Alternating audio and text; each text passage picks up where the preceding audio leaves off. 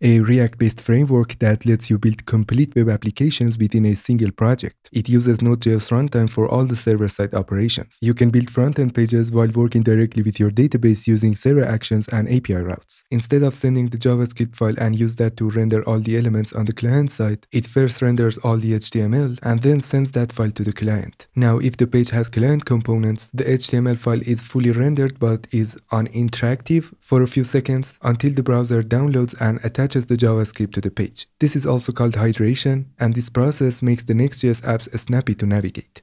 I'm putting cases on all you bitches. Huh?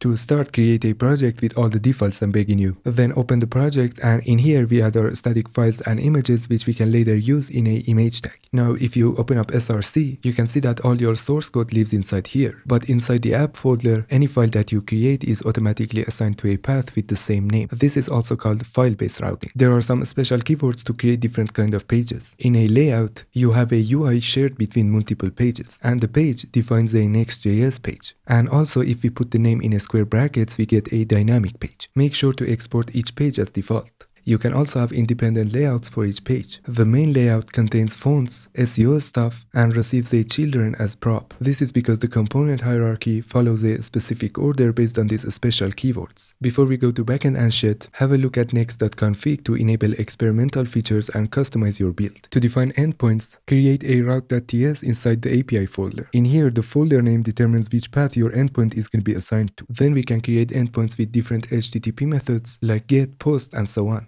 And when you do that, just like a traditional Express endpoint, you can call them in a client component. Now you might ask, why a client component? In fact, let's compare client and server components.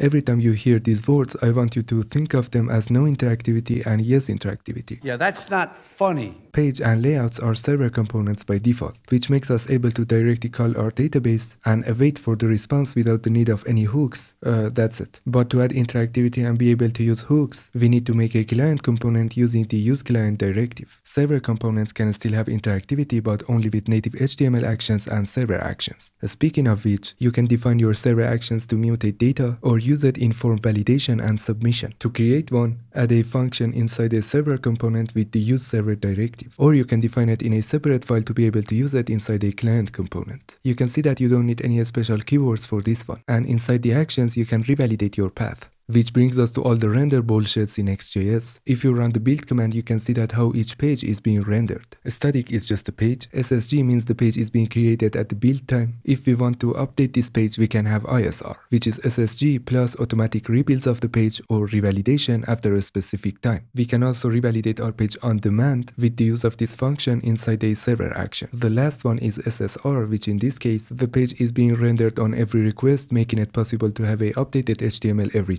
time. Tell me what I missed on Next.js. Thanks for watching and have a good day.